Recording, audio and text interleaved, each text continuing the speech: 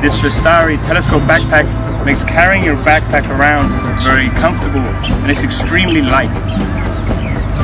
So your Vanstarry telescope comes with this very handy backpack for when you want to set up your telescope out in the park or at home.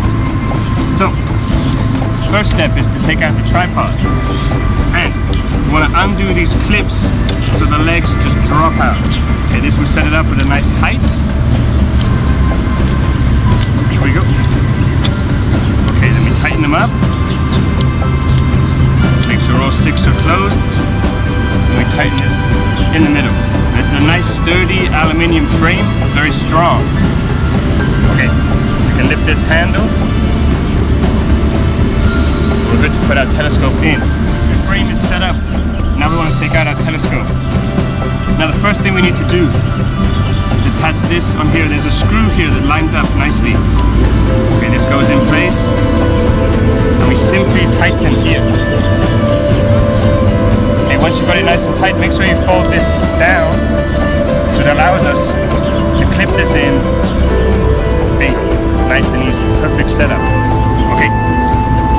Next step for us is to attach our viewfinder. Now, the nice thing about this is this attaches no screws here, it just simply slides in place. Then we take our viewfinder and we want to pass this through until it sits about in the middle. Okay, once we have it in the right place, simply tighten up the screws. Again. Good to go.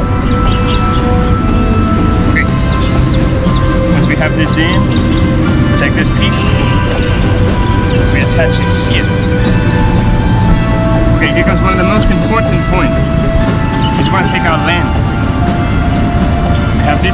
to attach our phone.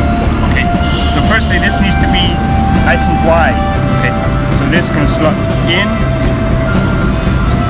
Okay, once we're in, we tighten this up. Now once it's nice and tight, we attach our phone to the back side, making sure that our camera lines up with the lens. Perfect for you when you want to take your kids out to the park, and show them the moon or the stars in the sky. Once we've got this set up, make sure you turn on your camera so you can see if you've lined it up correctly. Once you have, just slots in, tighten the screw, and there we have it. Okay, now a few functions from here to make sure you get the perfect setup. We have our handle which is going to allow us to move it up and down. And we have this one here which is going to make us take it left and right once we've got the perfect setup. And this last one, we loosen it, pull out this lever, and up and down we simply just twist. Okay, that looks good for me. There we go.